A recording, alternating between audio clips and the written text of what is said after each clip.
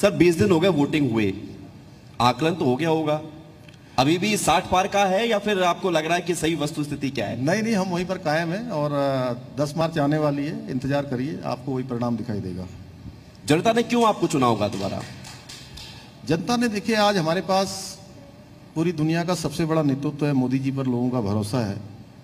और मोदी जी ने जो भी काम किए हैं वो आम जन के दिल में बसे हुए हैं। उत्तराखंड के अंदर माताओं, बहनों ने इस बात को देखा है और पूरे देश के अंदर मैं तो कहूँगा। देखिए, जिस प्रकार से आज इस महामारी के दौरान हर किसी के घर में, देश की 80 करोड़ जनता के घर में और उत्तराखंड के 60 लाख परिवारों में सीधे सीधे पाँच किलो राशन प्रत्येक यूनिट के हिसाब से पहुँचाने का काम हुआ है फ्री वैक्सीनेशन का काम हुआ है जिसने कभी गैस सिलेंडर के बारे में सोचा नहीं था उनके घरों में गैस सिलेंडर पहुँचा है आवास मिले हैं शौचालय मिले हैं वजीफा मिला है और सीधे सीधे लोगों के खातों में जितना पैसा दिल्ली से भेजा जा रहा है उतना पैसा सीधे डीबीटी के माध्यम से पहुँच रहा है।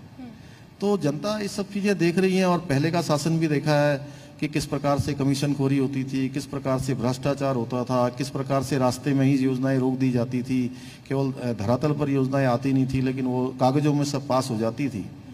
तो ये साफ़ गोई ये पारदर्शिता देश की जनता देख रही है, उत्तराखंड की जनता देख रही है, इसलिए उत्तराखंड की जनता ने हमारे भी भाव को देखा है साथ में। क्योंकि मोदी जी के सैनिक के रूप में हम लोगों ने रात दिन यहाँ काम किया है।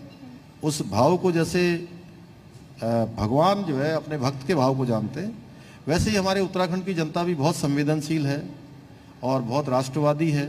हमेशा देश के साथ चलती है और जो मोदी जी का और हमारी पार्टी का मंत्र है सबका साथ सबका विकास सबका विश्वास उस पर लोगों का भरोसा है। बिल्कुल सर साठ पार इतना आसान हरीश रावत के सामने हो पाएगा जब एक आप युवा चेहरे हैं हरीश रावत की अगर बात की जाए तो वरिष्ठ हैं काफ़ी। पिछली बार सत्तावन थे ना तब हरीश रावत जी मुख्यमंत्री थे। हाँ। ठीक ठीक।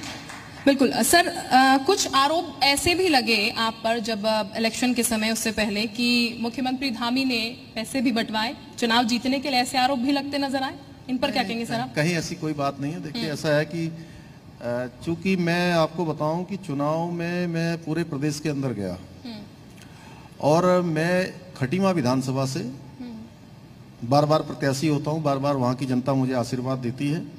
इस बार चूँकि मुझे समय नहीं मिल पाया था मैं, चूँकि मेरे पास पूरी ज़िम्मेदारी थी पूरे प्रदेश के चुनाव को बढ़ाने की, लड़ाने की, जिताने की तो मैं अंतिम दिन अपने विधानसभा क्षेत्र में पहुँचा था, तेरह तारीख को।